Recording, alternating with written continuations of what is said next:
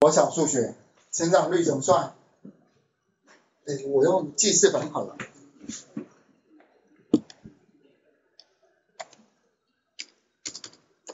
成长率，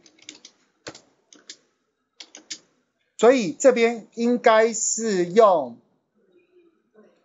二零一六年的总销售额，售额减什么？二零一五年总销售额。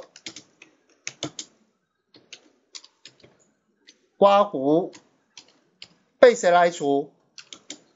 被二零一五年来除，还是二零一六年来除，还是随便？二零一五好像比较多人说，听得懂吗？这真是国小数学哦，可以哦，可以接受哦。我我其实我这边我只是要告诉你一件事，这些数值你要自己去算出来才有，否则它是不存在的。好，我只是为了要告诉你这一件很重要的事。好，所以这边是二零一五年总销售额。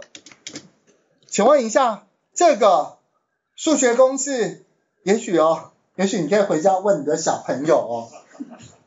可是真的，真的，这个数学公式绝对没有什么问题。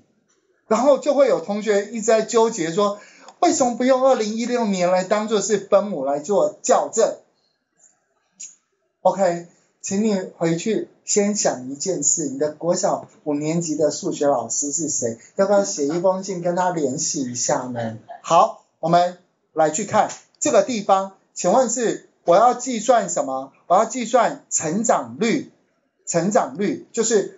二零一六年的成长率，请问我应该用新增量值还是新增资料行？新增量值，然后在这个地方我就写二零一六年成长率。所以在这个地方刮胡，我是不是要取用它？所以是不是在订单里面的它？所以一撇，所以是二零一六年 tab 键。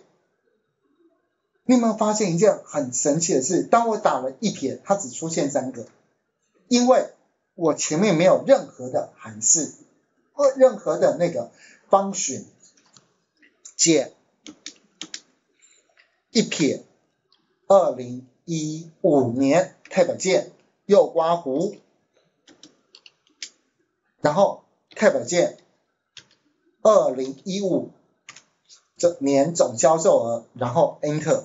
所以呢，在这个地方，我们看一下第三张资讯卡，告诉我们二零一六年成长率，成长了二十九 percent 哎，算多了，可以吗？所以请你们。自己去算出来，算出来这个二零一六年的成长率，销售额的成长率，可以哦。好，请你们动手来去做这件事。